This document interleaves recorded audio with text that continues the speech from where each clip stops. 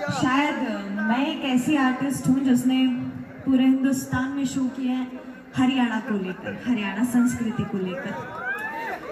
मैंने इतने शो किए, इतने शो किए, लेकिन जो स्वाद हरियाणा में काम करने का, वो कहीं नहीं है। क्योंकि हर जगह शो करते हैं कॉर्पोरेट शो भी करते हैं, आराम से लोग बैठ के देखते हैं।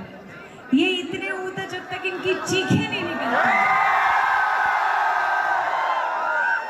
कोई मज़ा नहीं यही यही स्वाद है, यही।